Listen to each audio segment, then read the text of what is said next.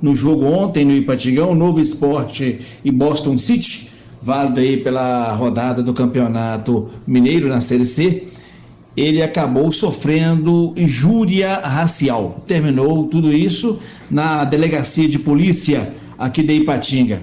E está conosco aqui dentro do plantão policial para falar desta situação o Tenente Ferreira. PJ, é, no final do jogo que aconteceu ali no Patingão, é, havia ali uma equipe escalada de serviço né, para acompanhar esse jogo. E no momento em que eles estavam acompanhando a saída do, do árbitro e dos auxiliares, é, uma, começou a ouvir na torcida ali um xingamento é, de cunho racial, né? Uma injúria racial. É, o árbitro identificou um cidadão no meio ali das pessoas, apontou ele como sendo o autor desses xingamentos. Esse indivíduo foi abordado pelas equipes, é, ele negou né, que tenha pronunciado é, aquelas palavras injuriosas, é, mas tendo em vista que né, diversas outras pessoas ouviram os xingamentos, é, de fato o, o, o, xingamento aconteceu, e tendo em vista também que a vítima, o árbitro, apontou ele como sendo o autor, então foi lavrada a ocorrência é, com base no artigo 140, parágrafo 3 do Código Penal, né, que é a injúria racial, e ele foi apresentado à delegacia juntamente, né, o, a vítima também acompanhou lá para prestar é, esclarecimentos a respeito desse fato. E agora com o delegado para tomar as providências a respeito desse fato aí. Trazendo aqui dentro do plantão policial a participação do árbitro do futebol no jogo ontem no Ipatingão, pela Série B do Campeonato Mineiro, ele acabou sofrendo injúria racial. Sem tropeço, nome e endereço. Márcio Tavares da Silva, moro em Belo Horizonte, bairro Paraíso. E não é a primeira vez que o senhor é vítima, né? Não, não é a primeira vez. Na verdade, já é a segunda vez que eu tomo uma iniciativa, né? Porque já teve a primeira vez.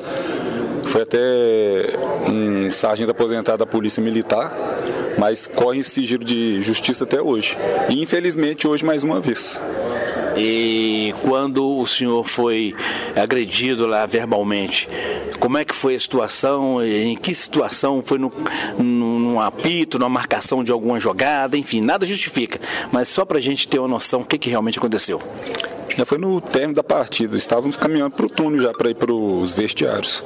Aí da arquibancada veio o xingamento, né? Semente de bucha e semente de melancia.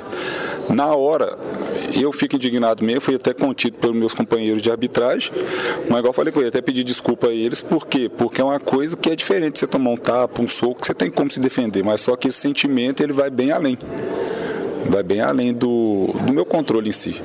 Aí foi neste momento, com esse xingamento, identifiquei o, o, o autor e na hora ninguém se pronuncia, mas agora é fácil de falar que não foi, que tem isso, parente negro, tem parente outra coisa, é calor do jogo, mas como você falou no início, né, estamos no século XXI.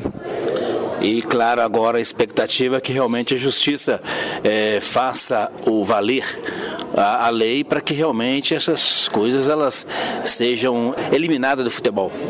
Sim, já tem que ser eliminado o futebol, eliminado o dia a dia, né? Porque igual eu falo, já dei outras entrevistas também. Quem gosta do preto, gosta do preto. Quem não gosta, não é obrigado a externar sentimentos não gosta, mas no mínimo respeitar coisa que não tem, infelizmente. E esperar que seja tomada né, as, as atitudes perante a justiça. A verdade é o seguinte, né? O, o, como o senhor disse, quem não gosta do preto, mas além, além do preto, muito acima do preto, tem um ser humano que é imagem e semelhança de Deus, né? Isso é, é até bíblico, né? E muitas das vezes as pessoas esquecem, porque infelizmente hoje em dia É uma palavra simples, que é respeito, mas independentemente de cor de pele, time de futebol, religião, até mesmo não entrando tanto, mas é um ano que vamos atípico de eleições que ninguém respeita, né? A verdade seja dita. E é dessa forma. Então é aguardar. Tá aí, né? Árbitro de arbitragem da Federação Mineira de Futebol veio a delegacia. Ele falou com um oferecimento de locadoras de sinuca e patinga Londrina 370 no Veneza 2. Sem tropeço, seu nome e endereço.